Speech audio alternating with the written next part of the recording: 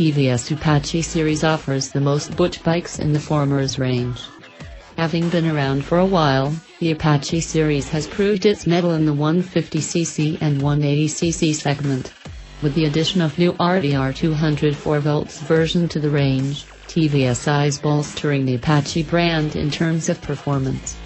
The carburetor version of the Apache RTR 200 V4 costs Rs. 88,990, whereas the fuel injection variant has been priced at Rs. 1,07,000. Prices are ex showroom, Delhi.